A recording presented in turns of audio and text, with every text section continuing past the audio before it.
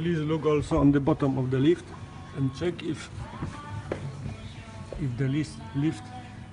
is uh, if this uh, part of steel is inside of this uh,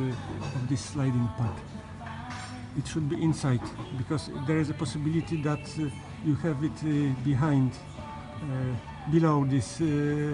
steel and then all lift is a little lower than it should be and then there might be a problem on the top of the lift